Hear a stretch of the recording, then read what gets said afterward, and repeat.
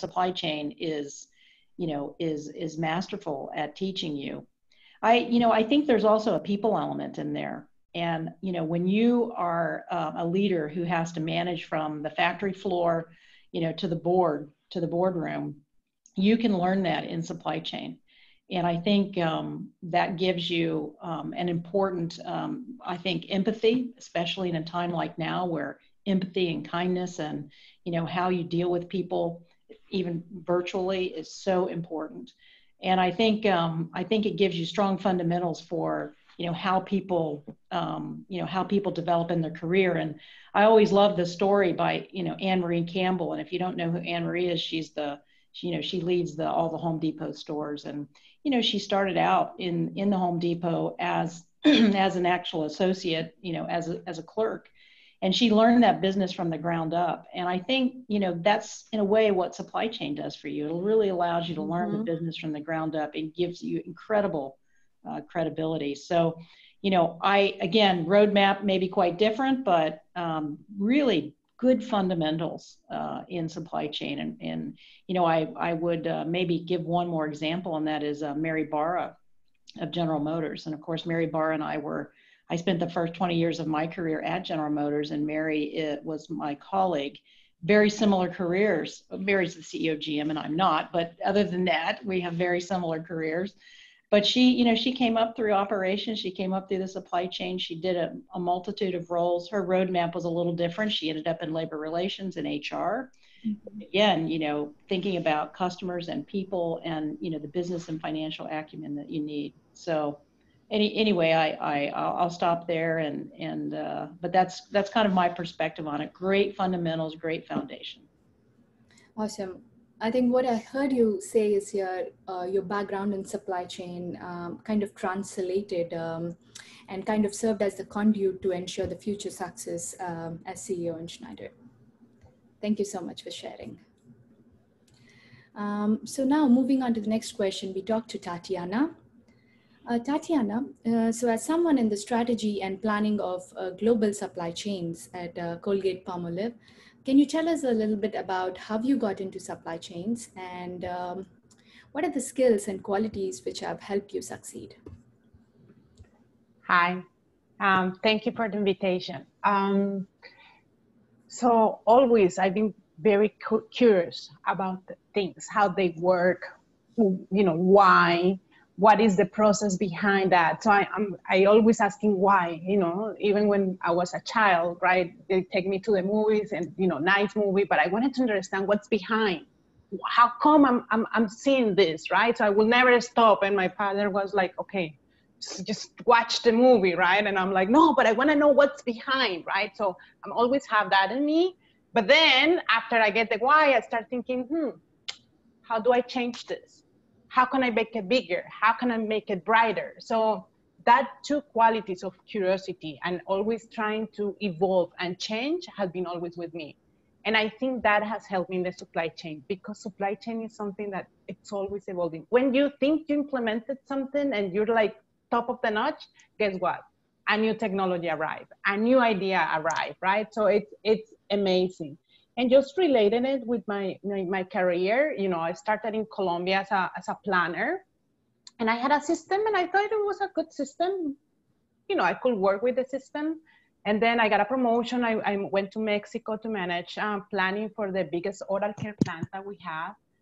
And they were not using the system, they were using Excel. And I was like, wait, so I thought I was gonna go forward and now I'm going backward. And that started to trigger things in me, right? And since I I always asking what is going on, what is behind now, and you know, fast forwarding now, I'm the global director of planning, and guess what? Right? And like I know how it works because I ask, and when I was a planner, I took the time to understand everything, and now developing and transforming not only the system because you understand that you can have the most beautiful system, but if you don't have the talent, it's not going to go anywhere. And it's not only going having the, ta- the talent, but having that change management and empowering the people, right? That in, instead of become a good system users, they, the system works for them, right? And they become augmented planners, right? It's decision making instead of op- operational. So I, I think this, this path has helped me to be now here and, and start um, working in this digital transformation of my area of planning and what are the next steps. That's awesome. If I could paraphrase one of those, uh, uh, you know, the ability or your willingness to kind of change is especially uh, help you a lot, considering, you know, with the current times and supply chain when everything is changing at such a faster pace, right? Thank you so much for sharing. That's really insightful. Um, now we're moving on to the next question we have for Monica. Uh, Monica, so why did you choose supply chain? And tell us a few things you've created through digital transformations to enable world-class uh, capabilities for Dell. And how difficult, if at all, as a woman, if, if that has been for you? And uh, can you share some insights from your journey all along the way? Sure. Um, well, I started off my career at Dell in manufacturing software engineering. Um, I had a lot of leadership roles, um, managing software development teams, and I was finishing up an expat assignment in Shanghai um, where I was um, moving or bringing up an engineering organization. And as I was repatriating, that's you start thinking about, okay, what role am I going to come back to? And that's when I made the conscious decision to move more into supply chain roles. Um, I've had a few roles in supply chain. Um, but some of the transformations that I've delivered are um, transitioning, you know, participating heavily in the outsourcing manufacturing strategy that Dell had from engineering perspective, um, you know, partnering with our ODM partners, um, selecting trade tools to start digitizing customs compliance. And then recently, my biggest one is that I'm leading a team that's delivering programs that's going to transform the demand planning organization. Um, difficulties along the way. Um, you know, I, I, feel like I've been very fortunate that I've had a lot of great colleagues and peers that have been supportive um, along the way. So, you know, I just feel very fortunate. I've had mentors, colleagues that I could, you know, rely on or ask questions on through any of my challenges throughout all the different roles that I've had. But the one thing that I'll say about supply chain and why I really enjoy it is, and I think why it was an easy transition for me from engineering is to echo some of what Tatiana is saying, it's all about problem solving. It's just what problem are you solving right now, whether it's a process or tool or capability. So um, that's why I like supply chain is that's all you're doing is solving problems. Awesome. Thank you so much for sharing that. Um, so moving on to the next question uh, we have for Deana. Mm-hmm. Um, Deana, so as the IT director for Corning GSM, um, could you tell us a few things which enable you to success, successfully build a digitally collaborative culture at your company?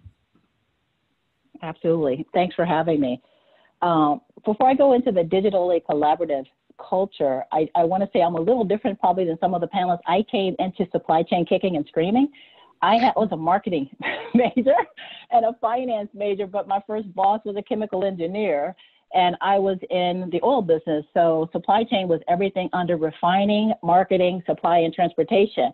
So he made me memorize and understand everything from the manufacturing process, chemical engineering process for um, the oil business, right? Because he wanted me to know the whole value stream from manufacturing and supply to supply chain movement. So yeah, he it was rough. And I think to the other panelists' points, what keeps me in it is that it is some of the most complex problems to solve all in one spot because you get to do everything. Um, everything, you know, my first, you know, foray into it 30 years ago, I got to solve problems in our retail network where we had tens of thousands of gasoline stores, problems in the refinery, great problems with our global transportation networks. We had very large crude carriers, and you get into vessels and problems. Like you get to learn everything to the point where your brain hurts, right? And so then later, I evolved from just being a process and a domain expert, you know, and later in supply chain to how do I digitize supply chain. And so your question on using that experience, that context of the process and the domain, and to the work with my partners who are some of the most amazing leaders in supply chain that I've ever worked with and coming from consulting, what I work for over 30 companies, I have perspective because if you, you know, 30 years of consulting before coming into industry, you get to see a lot across a lot of different companies. And so that perspective, along with really strategic leaders that I work with on my business side and then my background in technology has kind of really helped solidify me. What what I love about where we're going with supply chain, you know, the digital part of digital supply chain, just the challenges we face for having real-time visibility. Where is my stuff? Who has my stuff? What condition is it in? You know, is it stopped at a port? Do I have a trade compliance challenge, right? You know, um, everything, the challenges of digitizing everything with e-invoicing. It's not enough to have paper and email and people mm-hmm. doing all this stuff anymore. We can't afford that. We've got to automate. We've got to digitize. We've got to focus on ecosystems. And that's been my journey here at Corning, working with amazing business counterparts to say, how do we do more with less? How do we challenge ourselves? How do we leapfrog? And, and I feel really confident and really um, encouraged with the journey that we're on. We've been very successful with digitizing a lot of our global source to pay operations. We've been very um, successful with, you know, kind of the cutting edge on, you know, trade and compliance and the movement and, and supply chain visibility. And it's a culture shift. My colleagues and I joke that being in digital supply chain is like being on a suicide mission. You know, we're constantly telling people to learn, unlearn, and relearn, and they're just annoyed with you, right? like, I just got comfortable with this. I just learned this way of doing it. Please don't come with a new process. So, I mean, I that's why I love supply chain because you never get bored. You get to do everything, and to and that's point, you really get to see everything. You get to go deep in manufacturing. People are complaining about consignment or they're complaining about, you know, the vendor managed inventory over here, and you get to go deep in the problems, right? You get to mm-hmm. understand the financial because a lot of our products are index based, right? And so things are dynamic. It's not static. It's not easy. You've got to be fluid. You got to be quick. You got to crunch numbers and you got to know engineering. You got to know everything, right? So, like I said, I went into this kicking and screaming. I just wanted to feel comfortable behind my little spreadsheet, do my finance work, do my little nice marketing. And then, unfortunately, I work for, or fortunately, I work for this chemical engineer that says, no, kiddo, you're going to learn it all, right? So, so like I said, that, there's that kicking and screaming journey. You signed up for this versus you were voluntold. Awesome. I think uh, one part of what I heard you saying is, uh, you know, you're translating your experiences from working in the oil industry to, you know, your work at Corning. Uh, uh, but what I also learned from your bio is you spend considerable amount of time in IT services, right? In uh, yep. Ernst Young um, and Accenture. So, do you have anything, or you know, what's there something if you want to highlight one thing which kind of helped you translate your experience from your uh, service industry into what you're doing at Corning? do you want to share anything on that lines? Yeah, my experiences, you know, in the Accentures of the world, PwC and EY, is that, you know, I translated because most industries are not single dimensional anymore. Working in consulting where you work in multiple industries and starting in oil, which is technically multiple industries, it's retail. I was just as worried about selling hot dogs and car washes as I was about selling refined oil right? So that perspective of understanding the complexity that there really is no industry anymore. What is Amazon? It's it's internet services, it's commerce and trades, it's everything, right? So there are no industry walls. So I would say the most value added thing coming from consulting and multiple industry perspectives is that I accept the new reality. There's no such thing as an industry. There's just digital capabilities and services and the ability to evolve quickly for value. Hmm. Thank you. Thank you so much for sharing that. Yeah. Um, yeah. Um, uh, Monica, Annette, or Tatiana, do you want to add anything to that on uh, what you heard uh, Deana saying uh, before we move to the next session? Well, I have a few voluntold stories that we could go into, but I think uh, I think that's Deana. I think that all of that's happened in our careers, and I can I won't say who was involved, but I do remember a bottle of wine, and, and it was, we can drink this bottle fast or slow, but when we get to the bottom, you're going there. right? So it um, always starts with, I have an amazing opportunity for you, right? but you know, you know, I would make the comment that in, you know, in your careers, um, when when opportunities present themselves, having the courage to walk through them, uh, walk through the door and take the opportunity is a big part, I think, of what supply chain also teaches you. Many times you're going into situations that are unknowns, problems that need to be solved.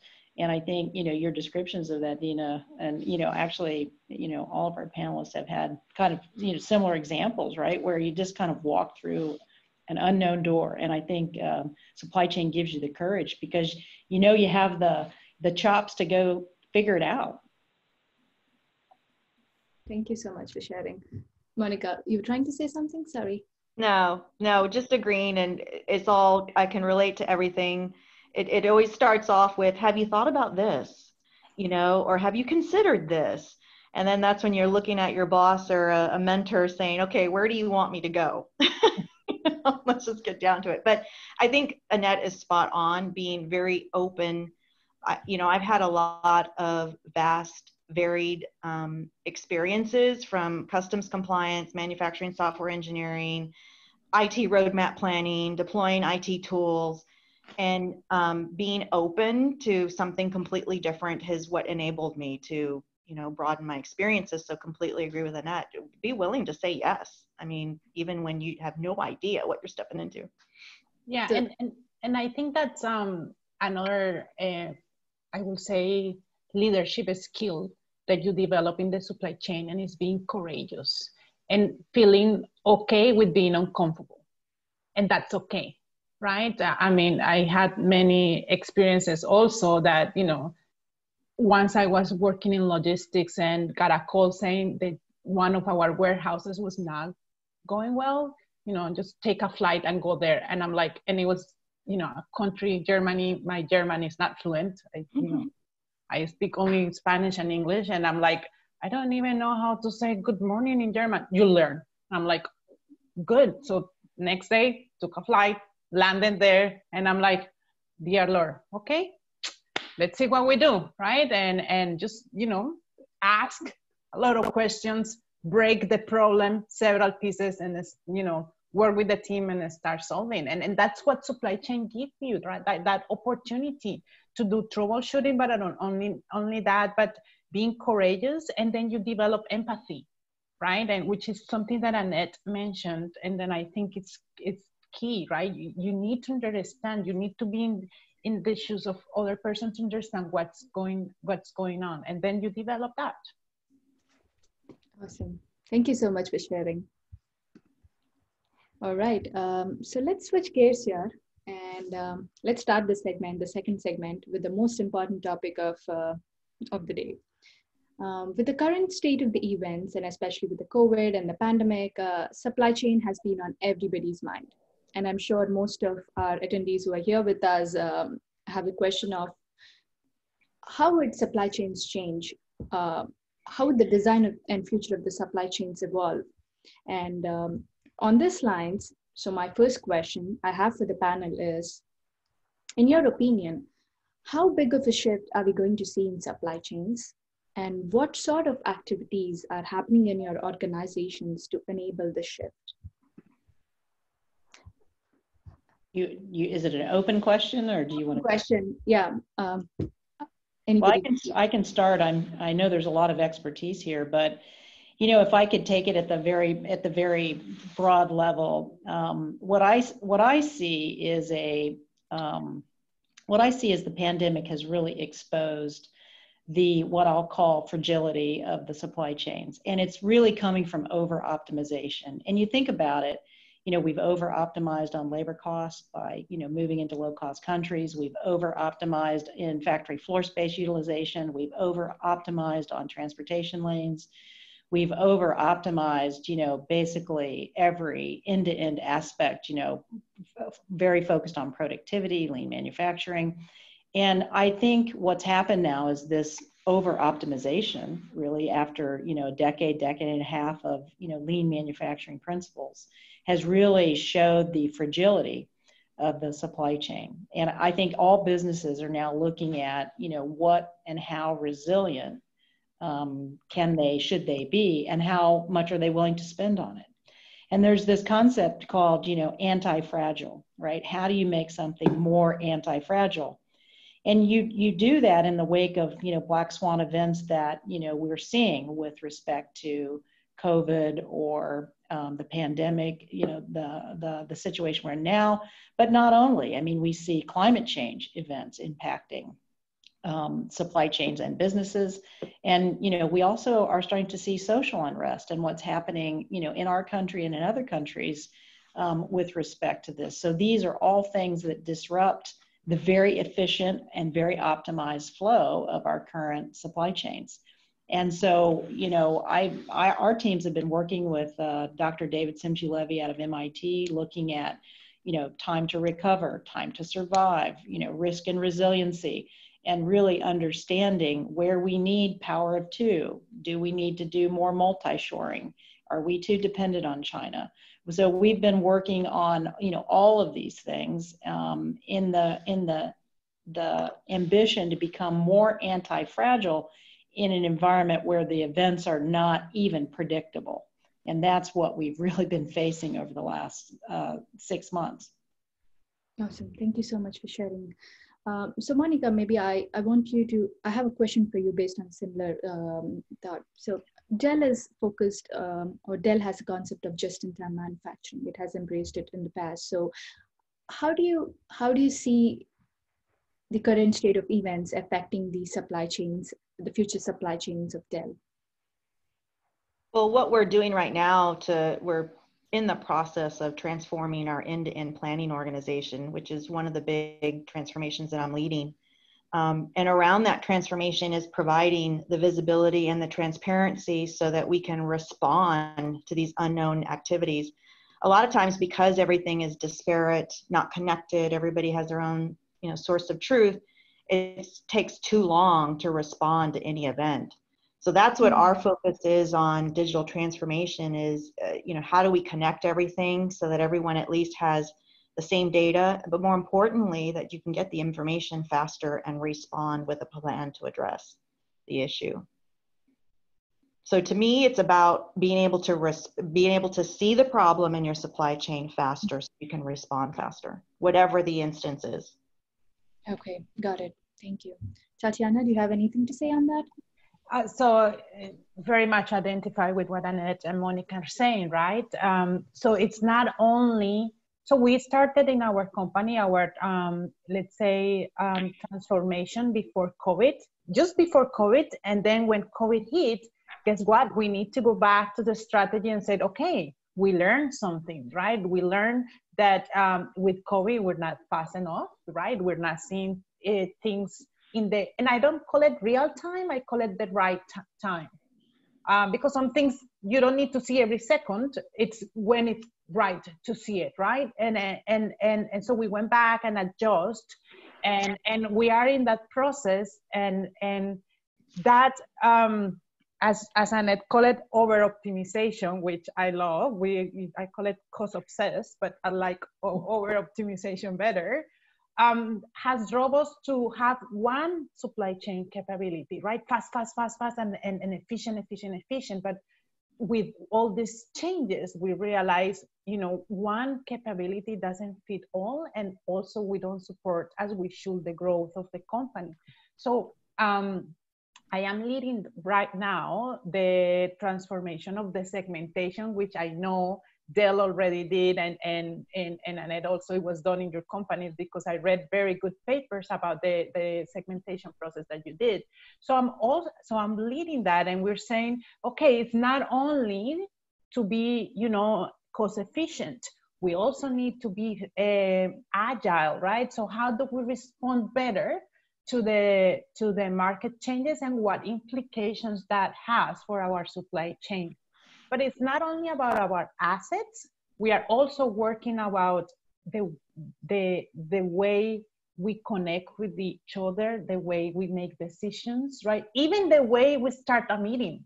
Now we started meetings complete, completely different. We have one slide that says the objective of this meeting is this this is what we're going to discuss and these are the you know decision owners and only bringing that is new ways of working and has brought a lot of agility to our supply chain. So i think um, covid of course is terrible. No one wanted a pandemic right? And and, and a lot of casualties and, and and it's something that i we all have learned uh, in your professional life and in your personal life. So I think for us, it has injected to our supply chain um, uh, how do we become resilient and how do we transform fast. Yeah. That's beautiful. Yeah. Go ahead, Deana. Yeah, you know, I um, I guess I would have to reinforce some of the things some of that Annette has said, Tatiana and Monica, um, starting with the anti-fragile, right? You know, we are seeing the weaknesses in our supply chain where we're vulnerable, whether it's because we're not getting the insights fast enough, we're not connecting the dots fast enough, it's too manual, it's too human dependent, or what have you, right? And closing the loop on that, right? I, I think Monica, you really dwelled on that to say it's just the lag is too much. Um, we've got to get the insights um, quicker, faster, um, to kind of pivot. And so we are trying, that's what we're working on is ecosystems. It's, I just think the supply chain of the future is about ecosystems. You have got to get smart enough to know that you can't do everything. You can't know everything. You have to have partners ready to go that are, mm-hmm. and that, that partner, they can't be the weakest link in the chain, right? You've got to make sure that everybody is strongly bonded and ready for this, right? And so that's what we've been focused on. I am concerned about just closing those gaps on you know, human plus economy gaps, right? Saying that how do we enable people to see more insights, not focus their time on the tactical, non-value stuff, get to the, the world is moving so fast and the variables that we have to analyze, there's so many of them and, you know, there's just a lot to unpack and digest. And we want to empower people to be successful and really get to the answer and understand the root cause and pivot as we need to. And then we also, I think, Tatiana, you were hitting on this to say we need to, and Annette hit on it too, we need to understand on these supply chains. Um, you know, it used to be that it was one variable, lowest cost, wherever it was in the world. But now we got to maximize and constrain to two or three variables, lowest cost, but minimally in this region, right? You got to have regional supply chains. You can have some things that are global supply chain. You've got to really think in parallel mode, right? And that is really complicated. Um, and then, you know, as part of the supply chain, what exactly are you selling? I mean, I think a lot of companies are challenged. We still have this product mindset when we live in a services economy and helping even our commercial counterparts understand okay, what are we really focused on and moving and bundling in the supply chain for value the products, the services, right? And, um, you know, and the adjacent revenue that comes. You're starting to make money in our supply chain in areas that we never thought, and they may not be core competencies, but the next thing you know, it's, a, it's an amazing opportunity. Right. And so just thinking outside of the box and not having a checklist culture to say, let me just check, check, check what I've done for the last 20 years and not just really being open minded around value in the supply chain. Things like supply chain financing, right? If I got to buy from you anyway and I can help architect, you know, let's say, you know, a financial structure that helps you, helps me, right? There's a gazillion things of value in the supply chain that we've got to start thinking differently and not just on the core, you know, product or service, right? So there's between the financial dimensions, between the ecosystem and partnering dimension that you cannot try to do this all by yourself and then just being brave enough to challenge the assumptions that were true for the last 20 years but are not true today right? So you know that's how i would i would sum it up because you know and the supply chain is first. We have to sense you're right we have this these plans these S&OP plans and we have a demand plan and then we have reality what's trending and what's happening right now and moving right now and we need to quickly recalibrate right, and get to the demand sensing truth, regardless of what your salespeople thought, regardless of what your capacity, you know, gives you favoritism around, but like what's really going to make money right now and what's really selling right now. So it's it's just really complex. Supply chain is it gives you a headache, right? But it keeps you engaged, that's for sure. You know. Hey, so Gothard, could I could I could I bridge back to you know sort of your opening remarks, which were around you know, you can see supply chain jobs are becoming technology jobs, right? I mean, this is really a digital transformation. And, you know, I've been fortunate to work with the uh, World Economic Forum on the future of manufacturing and the future of supply chain. And, you know, everything from, you know, how does the workforce change and how does it become, you know, in the face of technology? And, you know, we've heard some of that, how you get people to move to a, a new, you know, digital tool or capability. Um, but also in you know the the even the factories themselves you know how they were. We we we, we just announced that our lexington uh, facility a 65 year old factory is now a world economic forum acknowledged lighthouse factory meaning it's adopted you know all the technology from the fourth industrial revolution. And you know if i could brag a minute it's using you know schneider electric you know technology stack to do that And, and but this is amazing because this factory, a 65 year old factory that probably no young person, no new supply chain uh, person that's interested in technology would ever really want to work in, is now a highly digital, highly technical. You know, you can see, you know, you can see what you need to see when you need to see it. Um, these are the factories now that you know we're asking people to go work in, and you know, we think about the things we're facing, you know, technology really is the answer and the, the digitization of the supply chain, of the factory, of the planning, of the, of the, you know, logistics and network design. It's, this is, you know, this is all part of it. Uh, I should say, I know you read, um, uh, sorry, go ahead. Yeah, I wanted to add to something that Deana said and then even Annette touched on is as we talk about how we're transforming supply chains, the roles are no longer going to be the same. So you no longer need a planner to be an Excel expert. That is long gone. Now you need what Deana was saying is how do they consume the information? Now you're going to need much more problem solving, collaborative skills, influencing skills so they can go navigate with sales and suppliers. Um, so that is something that is really huge that is, you know, kind of runs in parallel with us as we're deploying tools. But I think as we continue, as the technologies continue to advance, there's a lot of whole new jobs that are going to be coming at us, and we have to figure out how we identify those quickly. How do we train our employees to get there, or start to have to go and search for the right people um, to fill some of these new roles? Awesome. Thank you so much. Now, the, what I was saying earlier was uh, you guys read my mind. My follow up question to that was, you know, with considering considering the state of moving from over optimized supply chains to supply chains or optimized supply chains, are we going to have more opportunities in there? And uh, I guess you guys answered it perfectly. Um, so I'll move to my next question. And Deana, I'll go to you on this since you touched upon this topic slightly about demand sensing and demand planning. Um, so, so demand forecast is very important in the future of supply chains, especially in the fluid environments we are in. And uh, our works at DSCI, especially, we keep hearing from companies that the demand forecast is inaccurate at the best. Um, so, how do you feel about it? And uh, what are you doing in, with, in your respective companies to avoid this dilemma? Yeah, we actually have a very large team wrapped around this this very topic to say how do we improve our, our forecasting accuracy? How do we get time, um, planning to be a lot more dynamic and more sensing? We have some divisions that they sell through distributors and they feel out of touch with the signals, right? Um, and that they're missing the mark in some of their, their forecasts.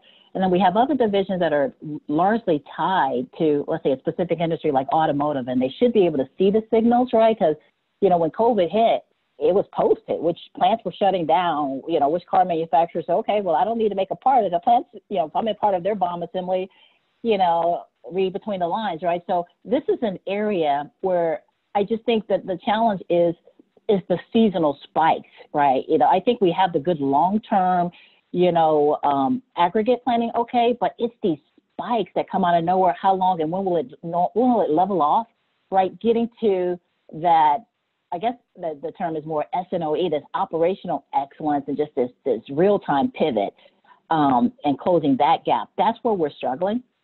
All right, but we got a lot of good people, a lot of good brains on it. But I, I will say it is not easy, and we need to give them the digital tools that are that adept and agile and really makes it transparent and um, connects all the dots. It, it's not easy. It's on a journey, and we're just really having to collaborate with a lot of others and and put our brains together because it's just not simple. Yeah, it's not even simple for AI, right? I mean, we yeah. I think you know probably most really forward-thinking supply chain teams are working to try to engage AI in their planning mm-hmm. capabilities. And you know, I've lived on both sides of this equation. You know, complaining to the sales team if you could just give me a better forecast, to being in the that very team saying, "Holy cow, I wish we could do a better forecast," right? And yeah. you know so the supply chain can be more responsive and the reality is i think we're never you know we may even be in a, a more uncertain time so flexibility and agility and realizing that we have to plan for what's knowable so that we have some capacity to react to what we can't know and i think there's a lot about what we can't know I mean, most companies can't know how they're going to finish the year right now. Most companies can't know yeah. what 2021 looks like. Most companies cannot know these things. They're not really fully knowable. So agility, reactivity, flexibility, you know, connecting as many dots as, you know, both um, actually Tatiana, actually Monica and Deana have all talked about. I think these are really, you know, these are really important things. And again, you know, uh, a lot of that, what's knowable, plan for what's knowable is going to come from, you know, this has come from digitization of, of, of planning, which sounds like you're all, you know, top performing supply chains really working on it. And, and I building on that, Annette, I think the, in the demand planning area, it's where you can see the most transformation transformation with the with digital and the system utilization. We have been able to see good results trying uh, segmenting our um, uh, products and focusing in the ones that you know are stable and you can predict using good statistical models and using the system right and you can see how the demand plan accuracy goes up for for those one and then you dedicate your people on the ground to do that um, a collaborative work with the commercial area for those SKUs that are less predictable, right? So we are fo focusing instead of, you know, trying to figure out uh, the demand of this SKU that we know is very stable. Let the system work on on, on that, and you can see very quick results doing that. And but as you're saying, is not good enough anymore, right? And we have been saying supply chain is changing. So now injecting that POS data, injecting that artificial intelligence that I remember in the past, you know, we said, well, I wonder how weather, you know, affects toothpaste. And we don't see a relationship, right? But nowadays, artificial intelligence is not about weather anymore. That's what we used to think, you know, last year. Today is like what's happening, what is social, what's in, you know, what's coming. Um, so trying to connect that, it I think is is is the next next step and where most of the companies are working on. Yeah, maybe um, uh, just to, to build on that, Tatiana, if you think about um, planning being obviously it's it's the nervous system of the supply chain, right? It's really it's really making the critical decisions.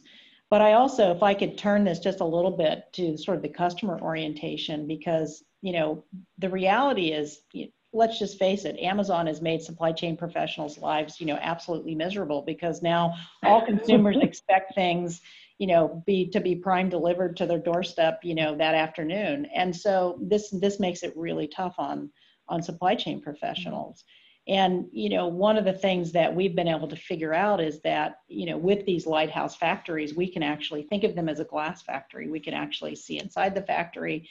We can see you know maybe a panel board spent you know too much time in, in wiring too much time in a particular category. We can begin to communicate with customers that you know we may see a half a day delay a day delay uh, and and customers you know that are that are doing their own planning they really appreciate this kind of capability so i think how we're communicating with customers is also you know critical in inside this this end-to-end look yeah, I think that's a perfect segue into my next question. And maybe, Monica, you can start on this. Uh, so, uh, I think Amazon has set the bar for customer service really high, um, as you just mentioned, Annette.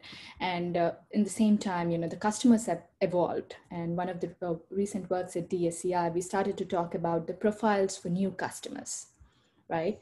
So, do you see new customers in your business, and what are their characteristics, and how has that been different from the ones you had previously? That's my question number one. And my question number two on the same uh, lines is that do you think uh, that women have any particular advantage with respect to understanding the needs of the new customer uh, that you can or you must organize your supply chain around? Um, so first off, just to be kind of funny, I think women can do it all. I think women can do all the jobs in supply chain and be successful. But back to your serious question about are there new customers? I, I don't think there's new customers. I just think their requirements continue to evolve. Um, yeah. With the technologies there, they're the exact example Annette gave. I now expect two day prime delivery, you know, with everything, even though that's how I got my Forerunner Garmin watch today. You know, I expect that as a supply chain, um, you know, someone working in supply chain talking to a, you know, a partner. Um, so I think it's more of like it's it's still the same process. You have to listen to what the customer's needs are, what their requirements, um, and partner with them on that on that. Um, they've got a lot of different options now that they're considering. They're wanting a lot more flexibility. Amazon set that bar, and you know they're they're looking at end-to-end services. They're trying to you know consume things differently. So again, I don't think it's just new customers. It's um, new requirements. Um, and I also think what Deana said about, you know, there's really no product segmentation anymore. Everything is equally the same when you're shipping it. Thank you. Uh, Deana, maybe do you want to comment anything on that?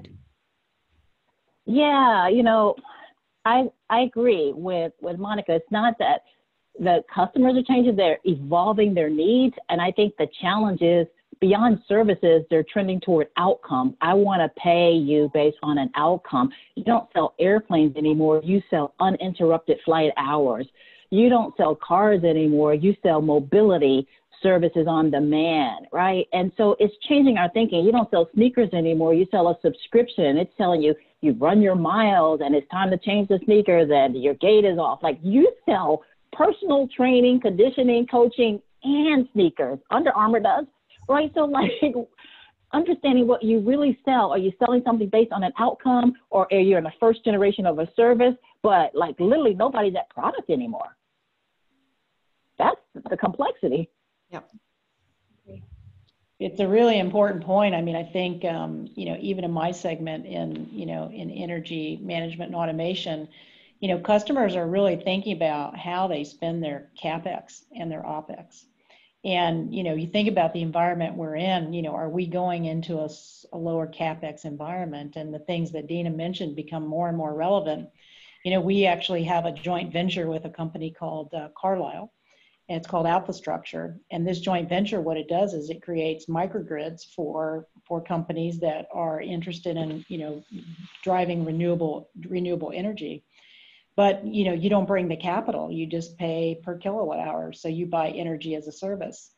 Uh, Carlyle brings the capital, we bring the technology, and AlphaStruxure you know does the work. And I think that's you know that is more and more what we see customers asking for us. So I would say the characteristics of the new customers that may not be buying a product, but they may be buying, you know, more of a service. And we, you know, that that becomes that becomes different than for the supply chain teams. For sure, yeah. Thank you so much, all, uh, for sharing your insights on these uh, really pressing topics. And with that, I guess we could move on to the Q&A. So gentle reminder to all the attendees. So please uh, prepare your questions, post them in the little Q&A space or the chat space, which you find at the bottom of the screen. So we already got a couple of questions. So let me get started with that. So this is question for Deana uh, from Becky Cabell. Uh, so she says, or she asks, have you seen any upstick in using IoT, Internet of Things technology within the supply chain? and what types of oh. opportunities do you see that in that space?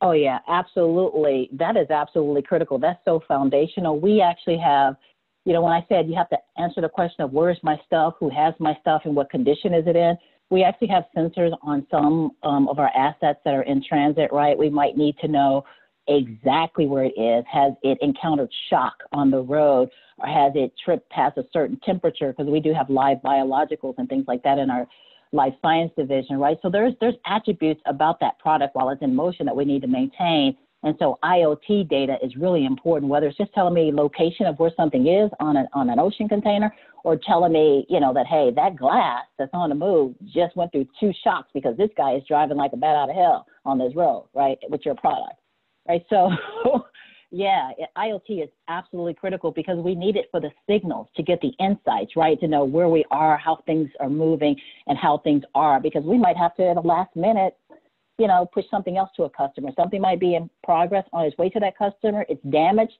Now I got to get into the contingency plan, right? And I need that signal to tell me so I get as much of a head start as possible. Awesome. Thank you. Yeah. And Tatiana, maybe mm-hmm. if you could add something, especially with Colgate Palmolive, there's a lot of consumer goods industry. So how do you embrace the Internet of Things? So one example that we are using Internet of Things is in our manufacturing plants, right? So they don't work in silos anymore. So they're completely connected between all the plants. Uh, so we have machines that are either connected with the um, uh, suppliers and when they are failing or about to be failed, right? So we're moving from from uh, to preventive maintenance. They connect immediately, and and the person that is in the plant can can connect. And we have you know the Google Glasses that you can connect and, and you can show how to fix it, how to repair, how to do that.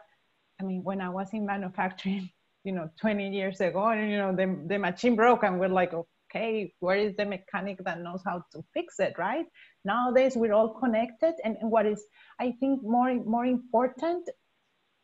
Sometimes we connect uh, like uh, uh, an oral care plant in Mexico with an oral care plant in Poland, and they share right? And, and they can eh, they can talk and they have all the information in the um, tip of the fingers that it's something amazing that at the end what brings is you know for us to become more agile and to be able to respond uh, to to issues faster Thank it's you. important that you know almost all devices now produce some kind of data right almost everything is connected it produces data but the real opportunity is in the insights um, is in the is in frankly is in the advisor layer of of that and the technology stack you know we've been using is called EcoStruxure but basically it's the connected devices producing data apps analytics mm-hmm. you know in a cyber secure manner but you know being able to compare the factory as you said in poland to the factory you know in another part of the world is really critical in driving you know the operating efficiency. And you know in this environment where we've probably over optimized so many things this these particular insights are going to become even more and more important. I'm right. still in that over optimized like i wrote it down. I'm still in that that phrase. I like it I think if I may sum it, I think it's all about taking all this real-time data and Tatiana to a point and using it at the right time um, to get the best results for your supply chains. Okay, so let's move on to the next question. We have one from Wenkai Lee. Let me rephrase this question a little bit. I think uh, is asking uh, for your recommendation on a good book uh, to learn more about digital supply chains. Is there any favorite book of yours which you would like him to take a look at? To be transparent nowadays i and things are evolving so much and so fast that i'm not reading book i'm reading articles. Every day there is a new article with something about digital supply chain about transformation about i just read a topic yesterday about how a plant can become three different type of plants right within itself. Um, so so nowadays what i'm what i'm doing is just connecting to um, good uh, repositories of articles you know Gartner has harvard has mckinsey has so i think that's how i'm i'm i'm, I'm connecting with digital supply chain and good good lectures I'm really following David Simchi-Levi uh, of MIT. You know, I've known him for a very long time. I actually worked with him in, in one of my previous roles and companies. I think he's doing some of the most amazing work on, you know, business resilience and how you how you make these decisions.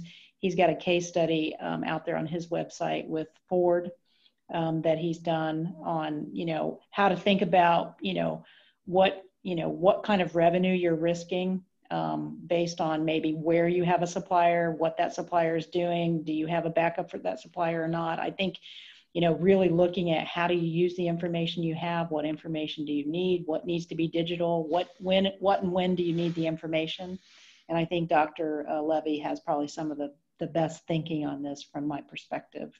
And then there is a book out there, and I stole the word anti-fragile from uh, Nassim Taleb, who has the book called Anti-Fragile. So I've read that one, and I think it's quite, I think it's quite insightful. Yeah.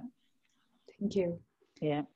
The next question. I'm, um, I'm like Tat. Yeah, I would like to weigh on that. I'm like Tatiana. I've been reading a lot more articles, but I'll tell you one book that really got me into the digital mindset is Zero Marginal Cost Society and just digitalization. Like that really gets you thinking, and then from there you'll go to the Living Supply Chain and some of the books that, and that's talking about. But I just think those are foundational ones. Actually, I I still go back to a lot of lessons from Zero Marginal Cost Society. It's really fascinating perspective on digitalization. Thank you. Thank you, everyone. Mm-hmm. So moving to the next question, we have from Magdalene. Uh, she says a big thank you to all the panelists uh, for your insights. Um, and her question goes to Tatiana and Monica, and uh, it says, What's your personal view about the supply chain industry, and how has the industry changed for women in the course of your career?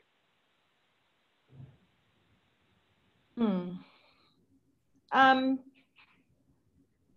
Looks like she's given you a tough question, ladies. Yeah, I mean, as far as how I've seen it evolve, um, I think that why I've been able to um, manage it is number one, being able to or being willing to try new things, um, being a problem solver, being open to technology. I think that opens the doors for a lot of women with technical um, backgrounds and the ability to problem solve that gives them opportunities in supply chain. Um, that's what I think. I think that more doors have opened that way in that they're looking for problem solvers, they're looking at people who can get their hands dirty, understand what the problem is, and go fix it.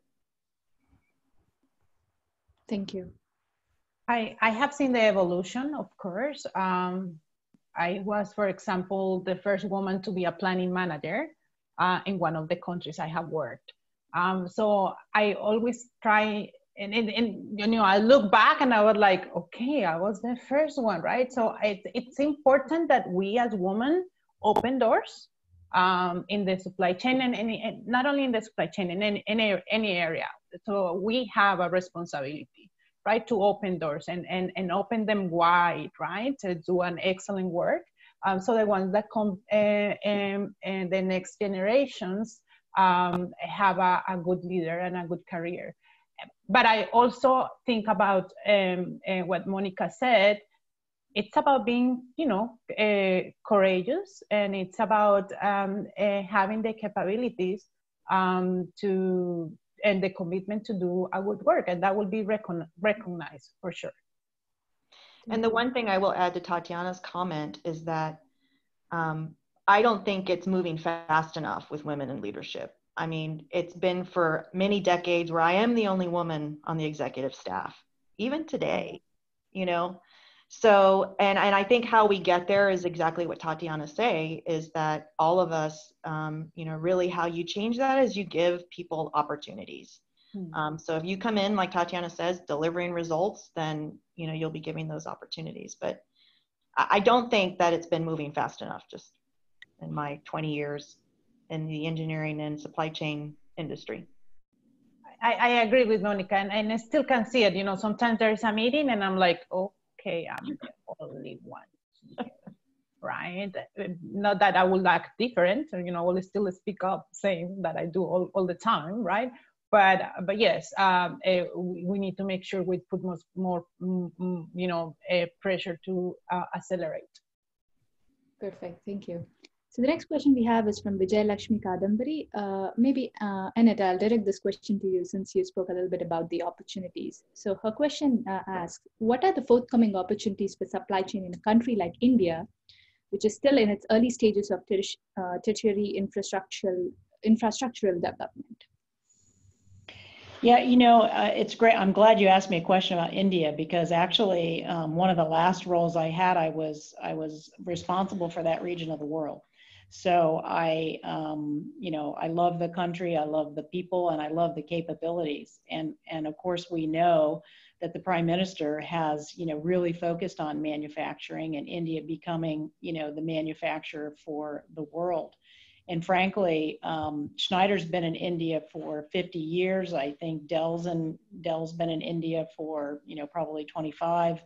Um, I think a lot of companies have been there a really long time, but had you know, kind of struggled actually, you know, making progress, making, you know, making, uh, actually making money. And, you know, our, our particular presence in India has really come alive in the last decade.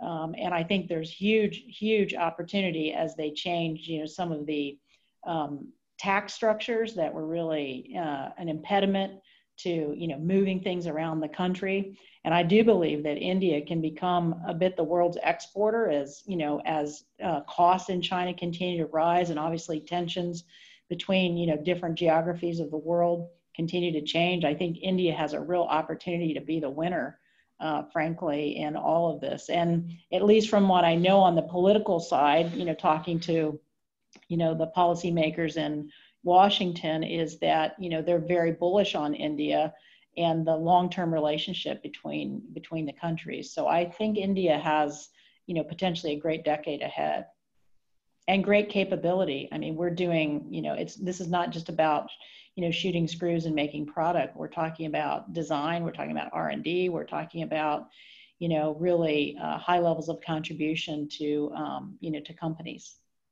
Thank you, Annette. Uh, so next question we have from uh, Jose Munoz. Um, uh, the question says, what needs to be done differently to accelerate um, the presence of women in supply chain roles? Any example you can share from your experience? Can you repeat that? I'm sorry, you were cutting out for me. Oh, sorry. Um, um, am I audible now, Monica? Yeah. Yep. Okay. So it says, what needs to be done differently to accelerate the presence of women in supply chain roles? Um, and, and any examples you might want to share from your experience. Well, I could start because I feel like maybe of this group, I've been working on it the longest. Um, and I, you know, I agree with the, I agree with the comments that Monica and Tatiana made that it's it's really disheartening when you go into a room and you're the only female there. So I think, you know, part of it is about hiring and hiring strategy and you know we have the hiring strategies um, at Schneider to you know to have the proper gender representation. And then i think it's about pay equity. And i think this is a really important point because you know we know that pay equity is is critical. So it's about gender pay equity.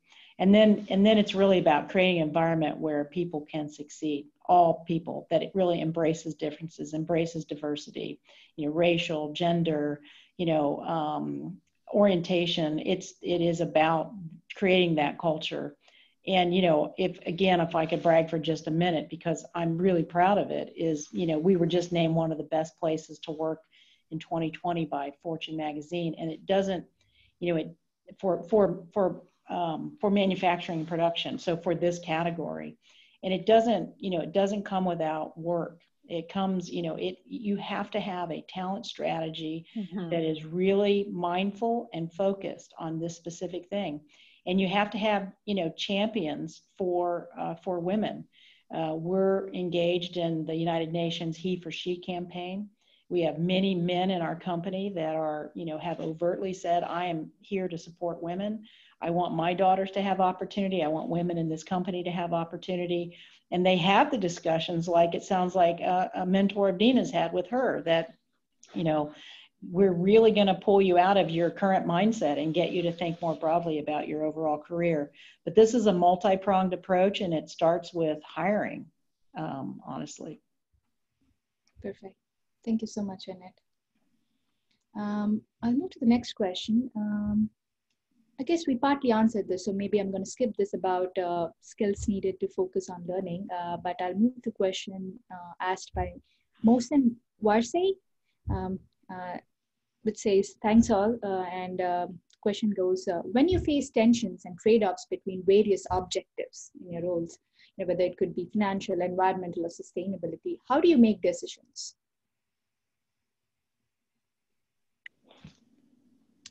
For me, it's easy. Take the customer side.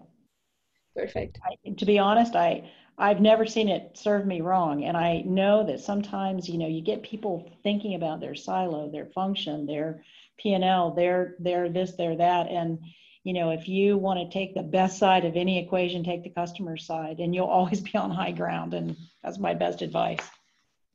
So take the customer side. You've heard that. Okay.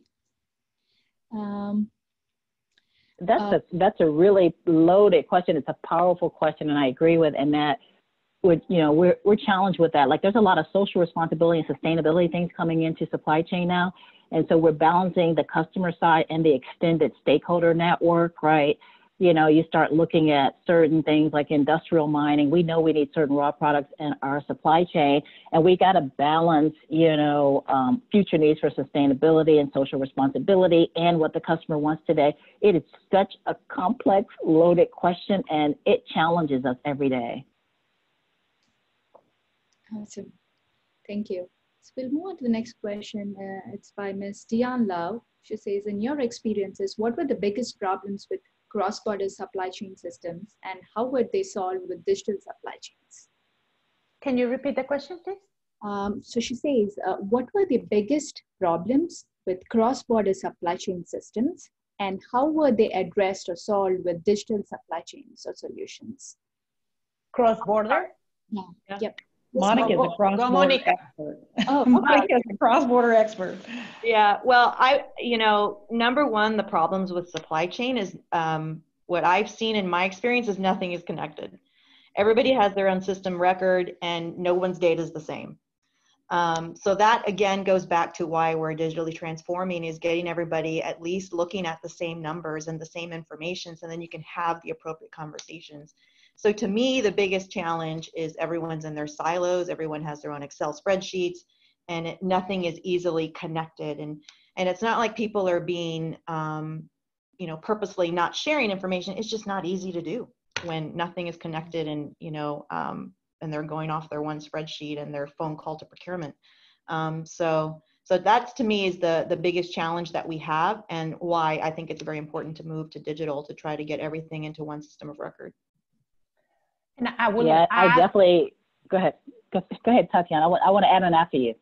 Okay. go ahead. I will build on Monica and when we talk about supply chain, supply chain does not start in my manufacturing plant and ends when I deliver the product to my customer.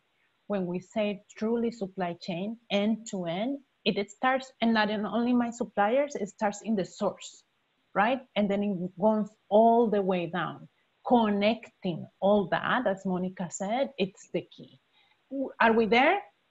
not, not yet, most of us, but we're trying to get there. I think that's very important to understand what is end-to-end supply chain and bring along our external partners, not only our suppliers, but we have contract manufacturers, we have co-packers, right? Um, so Colgate is a company that has um, many manufacturing plants, right? But we also have external partners. All of that is the end-to-end supply chain. When you start looking at the supply chain like that, that's when the transformation starts and then digitally applying you know digital um, to do that it's it's it's the challenge that we are all working on right Thank yeah. You. Yeah, I want to add on to Monica's point when she said, "Hey, it's you know, there's a lot of players in the ecosystem, whether it's freight forwarders and brokers. Nobody has the same digital truth, and it's a mess right? But beyond that, the rules are so complicated that our systems can't even support it. We're getting into trade wars where we have to know is you know is a percentage of that product is the origin from a certain percentage of some certain part of the world and is it 10% that's china origin or 30% like i don't even have that kind of BOM detail on this stuff to even tell you that right so you know we're all out of whack we're all out of compliance and and the system that can't even keep up with the complexity of the legislation that people are writing right? And so that's what I worry about. You know, and I actually have a degree in public policy. I need to go talk to my comrades and say, calm down a minute. we can't even operationalize some of this stuff, right? That's that's what trade is. The more complicated area of all the things that I manage because the rules just keep getting complex. Yeah, well, and the and the the technology, the technology piece of this, because you know, because many devices now are smart and many products are smart, they're producing data.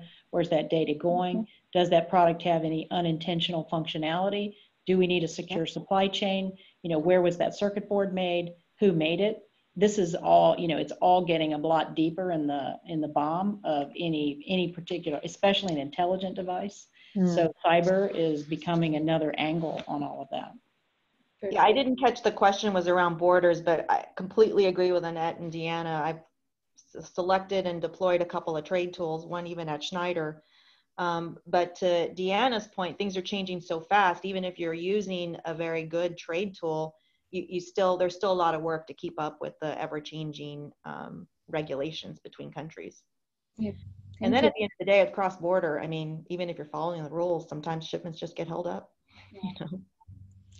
I guess uh, uh, I'm sorry, but we have to end this uh, Q&A. Uh, uh, apologies for some of the questions we weren't able to take, and we are at almost the top of the hour. And I just want to say a few quick things to wrap up. Um, so first of all, again, I want to thank all my panelists uh, for such a great discussion.